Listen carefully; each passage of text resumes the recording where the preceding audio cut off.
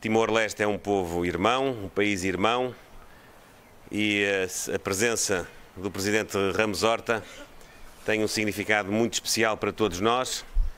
Muito, muito obrigado em nome do Governo português.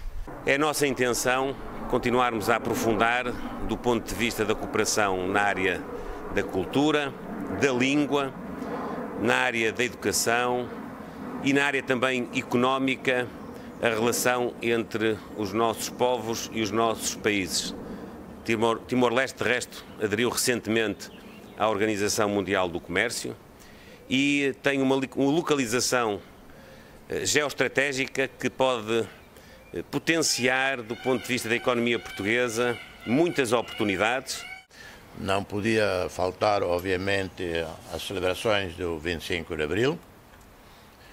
Primeiro, prestar homenagem a todos quantos, ao longo de décadas, lutaram, sofreram, morreram né, para as transformações eh, que se ocorreram né, em 25 de abril de 74.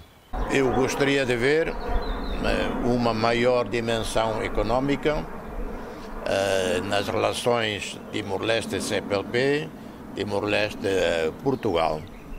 Timor-Leste vai fazer parte de uma região de 700 milhões de pessoas, 4 trilhões em PIB conjunto.